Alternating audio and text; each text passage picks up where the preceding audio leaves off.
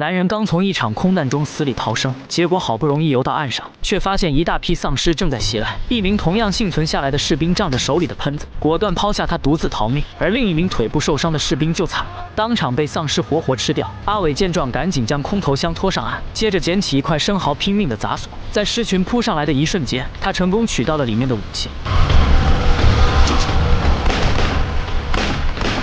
解决掉几只丧尸后，阿伟拿起里面的三级甲钻进了小树林，随后找到一个安全的地方换下湿透的衣服。在这个丧尸遍地的非洲大陆，阿伟只能继续开启漫无目的的求生之路。谁知刚走进一片玉米地，就与一只丧尸迎面相撞。好在阿伟手速够快，抬手一枪就解决了丧尸。惊魂未定的阿伟不敢多做停留，以最快的速度穿过了玉米地，旁边就是一座小村庄，但这里的人早已不知去向。确认屋里没有丧尸后，阿伟看向旁边的小破车，没想到发动机还能正常启。他赶紧从屋里拿出一桶汽油，给油箱加满后，再用千斤顶把汽车顶起来。然而就在他安装轮胎的时候，却不知道一大批丧尸正在缓缓逼近。阿伟一转身，被突然出现的丧尸吓得菊花一紧，他果断掏出手枪解决丧尸，没想到枪声却又引来了更多的丧尸，来不及磨蹭，他急忙将油箱和备胎装上车，再把轮胎上的螺丝也拧紧，然后坐上汽车启动引擎。终于在丧尸扑上来的时候，一脚地板油成功逃走。可开出去没多久，就遇见刚刚独自逃走的队友阿伟，看着他就来气，于是果断从他身上碾压过去。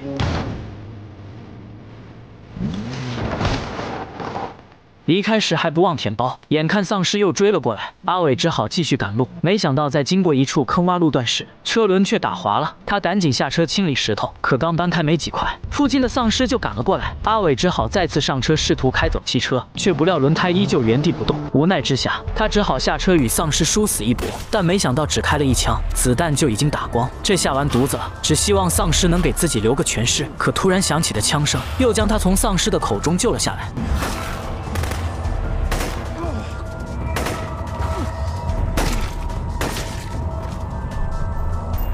原来是本地的士兵。得知阿伟没有被咬后，老黑叫他赶紧上车，随后又帮助阿伟把汽车开了出去。毕竟救了自己一命，阿伟还是决定带着他一起离开。在病毒爆发之前，两人原本是敌对势力，但随着病毒的蔓延，阿伟所在的部队不得不乘坐飞机紧急撤离。可让他们没想到，其中一名士兵感染了病毒，导致飞机坠毁在了海面上。现在阿伟只想赶去机场，然后再想办法离开这个鬼地方。而老黑原本是防疫站的一名驻守士兵，因为病毒席卷了他的村庄，幸存的儿子。子被带到了安全区，所以他要找到自己的儿子。了解了彼此的情况后，两人决定互相帮助。老黑先送阿伟去附近的机场，然后再开着他的车去找儿子。随后他们经过一座村庄，准备在这里搜寻一些物资。两人小心翼翼地检查每一间屋子，很快就被一间用木板封住的房子吸引了注意。阿伟刚凑上去查看，就被里面的丧尸贴脸开大，两人吓得赶紧开枪。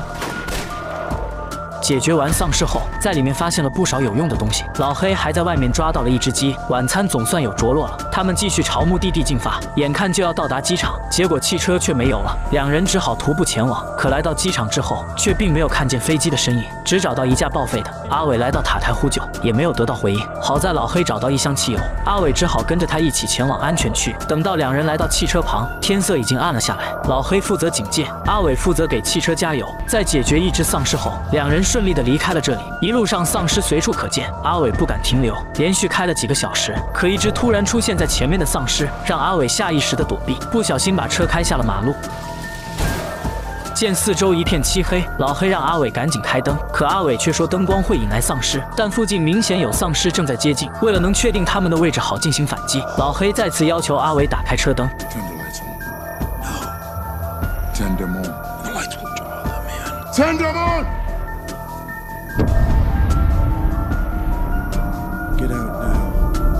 两人赶紧下车，开始与丧尸展开正面对决。老黑冲上去，手起刀落，轻松让丧尸脑袋搬家。阿伟掏出手枪，一瞬间就解决了大部分丧尸。显然这几只丧尸根本就不够砍，两人很快就杀出重围。随后找到一个安全的地方安营扎寨，还顺便把白天抓到的那只鸡也烤了。饱餐一顿后的两人开始睡觉。不得不说他们的心真大，这样的环境下也能睡得着，还睡得像死猪一样，甚至连陷阱发出的声响都没听到。直到丧尸扑向两人。阿伟反应迅速逃过一劫，可老黑就惨了，当场被丧尸咬到了脖子。虽然两人最终合力击杀了丧尸，但老黑已经感染了病毒。天亮以后，阿伟扛着老黑来到一棵树下，在弥留之际，老黑把胸前的吊坠交给阿伟，让他去安全区找到自己的儿子。说完便失去了意识。阿伟开枪送了老黑最后一程，随后独自一人往安全区走去。有了上一次的经验，阿伟这次学聪明了，选择在树上露营，安全的度过了一个晚上。他继续朝目的地出发。根据老黑交给他的地图，只要穿过前面这些陡峭的岩石，再经过一片沙漠，很快就会到达安全区。虽然在途中遇见了不少丧尸，但好在最后成功爬了上去。一望无际的沙漠映入眼帘，阿伟很快就被炙热的高温烤得寸步难行。就在这时，他突然看见一只身穿防晒衣的丧尸。阿伟嘴角微微上扬，干掉丧尸后果断扒下他身上的衣服。经过几个小时的艰难徒步，他终于来到了安全区。门口早已布满了丧尸。阿伟拔出腰间的砍刀，硬生生砍出了一条血路，最后成功。当进入了安全区的内部，里面的幸存者看到这一幕，简直不敢相信自己的眼睛，于是果断给他打开门，还给他安排了食物和水。幸运的是，这里还有一台无线电通讯设备。把设备修好后，阿伟成功联系上了自己的部队，但得到的消息却是绝望的，因为丧尸病毒已经蔓延到了美国，而自己的家人也生死不明，部队根本就无法派飞机前来营救阿伟。希望变成绝望，阿伟彻底崩溃。更糟糕的是，安全区的房门已经被丧尸攻破，幸存者们开始慌忙逃窜，看着丧。丧尸正在疯狂地袭击幸存者，阿伟没有选择帮忙，也没有选择逃跑，而是心灰意冷地站在原地等待死亡，手中还拿着老黑留给他的吊坠。就在这时，一个男孩认出了阿伟手中的吊坠，他知道男孩一定是老黑的儿子，于是亲手把吊坠交给了他。因为这个男孩的出现，阿伟再次燃起了活下去的希望。